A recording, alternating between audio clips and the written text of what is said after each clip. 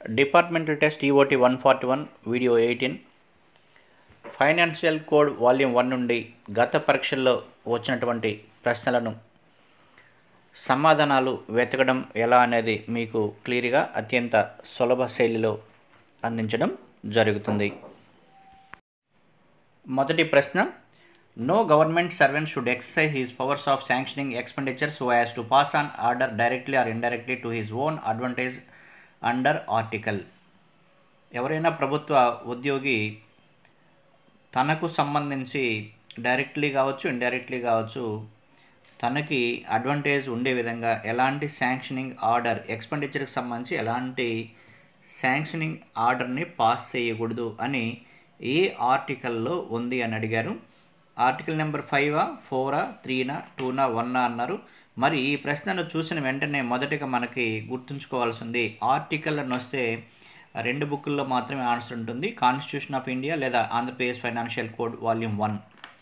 So ఈ ప్రశ్నకు సమాధానం కోసం మనం Andhra Pradesh financial code volume one బుక్లో మనం ఆర్టికల్స్ని చూడబోతున్నాం. ఈ ప్రశ్నకు సమాధానం కోసం Andhra Pradesh financial code volume one bare act బుక్ని ఓపెన్ చేసి ఇండెక్స్లో ఇప్పుడు మనం చూస్తున్నాం ఆర్టికల్స్లో చూస్తున్నాం. ఫైనాన్షియల్ కోడ్ వాల్యూమ్ వన్ బుక్లో ప్రధానంగా మనం ఇండెక్స్ని ఓపెన్ చేసినట్లయితే హెడ్డింగ్ వచ్చేసి ఆర్టికల్ నెంబర్స్ ఉంటుంది సబ్జెక్టు పేజ్ నెంబర్స్ ఉంటాయి అదేవిధంగా చాప్టర్స్ ఉంటాయి. అయితే ఆర్టికల్ నెంబర్ చూసినట్లయితే మనకి ఇచ్చినటువంటి ఆప్షన్లో ఆర్టికల్ నెంబర్ టూ నుండి ఫైవ్ వరకు ఇచ్చారు. సో ఇక్కడ మనకి ప్రధానంగా వచ్చేసి ఎక్స్పెండిచర్కి సంబంధించి ఇచ్చారు కాబట్టి మనకి రూల్ నెంబర్ త్రీ ఫోర్ ఉండేటటువంటి పేజ్ నెంబర్లో చూస్తున్నాం. అంటే no government servant should excise is powers of sanctioning expenditure అన్నారు. కాబట్టి ఇక్కడ మనకి ఇచ్చిన దాంట్లో ఆర్టికల్ నెంబర్ త్రీలో వచ్చేసి త్రీ ఫోర్లో ఎక్స్పెండిచర్ అని ఉంది. కాబట్టి పేజ్ నెంబర్ వన్ ఇచ్చున్నారు. అక్కడికి వెళ్ళి ఈ ప్రశ్నకి సమాధానాన్ని చూస్తున్నాం.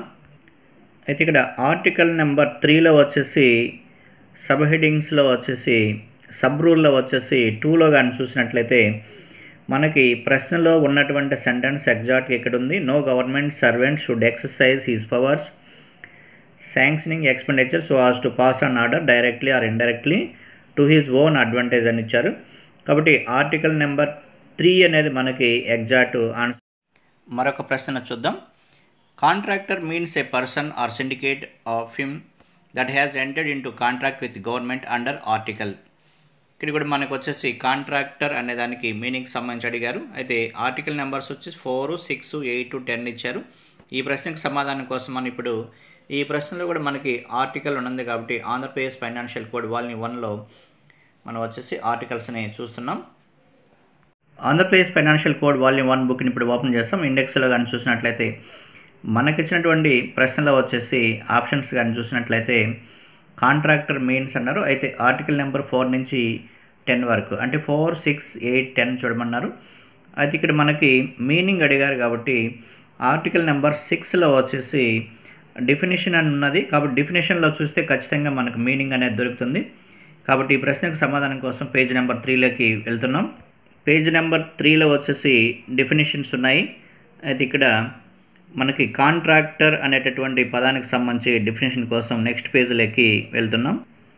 అయితే కాంట్రాక్టర్ అనేటటువంటి ఎగ్జాక్ట్ వర్డ్ కూడా ఇక్కడ మనకున్నది. Contractor means a person syndicate of him that has entered into a contract with government అని ఎగ్జాక్ట్గా క్వశ్చన్లో ఉండే సెంటెన్స్ ఉంది. కాబట్టి ఈ ప్రశ్నకు సమాధానం అనేది ఆర్టికల్ నెంబర్ సిక్స్ ఉంది కాబట్టి సిక్స్లో ఉంది కాబట్టి ఆర్టికల్ నెంబర్ సిక్స్ అని మనం ఆన్సర్గా గుర్తించడం జరుగుతుంది. నెక్స్ట్ ప్రశ్నలో చూస్తున్నాం. Treasury means any treasury of the state and include sub treasury under article ఇక్కడ కూడా ట్రెజరీ మీనింగ్ అడిగారు. అయితే ఆర్టికల్ నెంబర్ టూ నుండి ఆర్టికల్ నెంబర్ ఎయిట్ వరకు చూడమన్నారు. అయితే మనకి ఇక్కడ ఆర్టికల్ అని చూసిన వెంటనే మనం ఈజీగా వచ్చేసి Andhra Pradesh financial code volume one బుక్లో ఈ ఆన్సర్ దొరుకుతుందని మనం ఈజీగా కనుక్కోవచ్చు. ఈ ప్రశ్నకు సమాధానం కోసం ఇప్పుడు మనం Andhra Pradesh financial code volume one బుక్ని ఓపెన్ చేస్తాం బేరాక్ బుక్ని అయితే మనకి ఇక్కడ ప్రశ్నలో వచ్చేసి ట్రెజరీ మీన్స్ అని అడిగారు.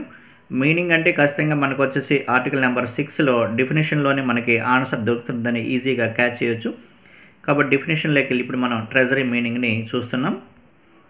ఇక్కడ డెఫినేషన్లో కూడా ఆల్ఫబెటికల్ ఆర్డర్లో ఇచ్చారు. డెఫినేషన్స్ అన్నీ కూడా తర్వాత సబ్ హెడ్ అని ఇచ్చారు సబ్ వర్క్ ఇచ్చారు తర్వాత టెక్నికల్ శాంక్షన్ ఇచ్చారు తర్వాత ట్రెజరీ అని ఇచ్చారు. Treasury means any treasury of the state includes a sub treasury అని మనకి ఎగ్జాక్ట్గా క్వశ్చన్లో ఉండే సెంటెన్స్ ఉంది. కాబట్టి దీనికి సంబంధించి ఆన్సర్ వచ్చేసి ఆర్టికల్ నెంబర్ సిక్స్ అని మనం ఈజీగా గుర్తించవచ్చు.